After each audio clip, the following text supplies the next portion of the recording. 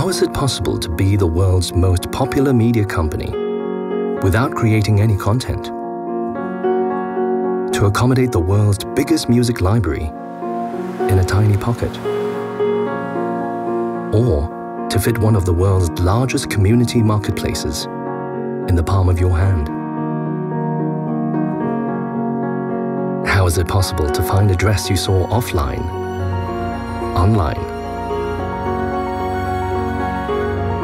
With infocomm technology, anything is possible.